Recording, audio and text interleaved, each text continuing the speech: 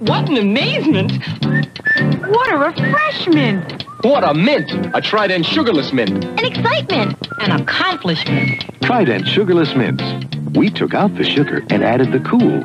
A chilly spearmint, an icy peppermint, a frosty fruit mint. But it's a sugarless mint.